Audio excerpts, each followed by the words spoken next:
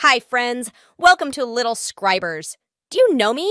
I'm your new friend. My name is Bobby. Today we will learn about pet and farm animals. Our first animal is cow. Cows are large domesticated mammals that belong to the Bovidae family.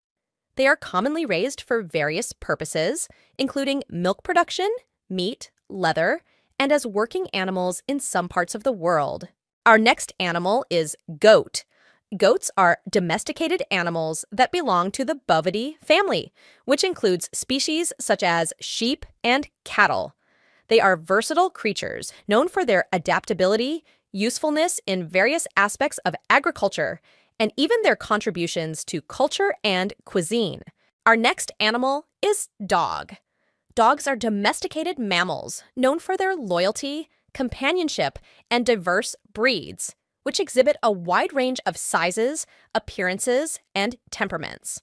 They have been bred for various purposes, including hunting, herding, guarding, and companionship. Our next animal is cat. Cats are domesticated mammals known for their independent and sometimes aloof behavior. They are popular pets worldwide and have a long history of association with humans.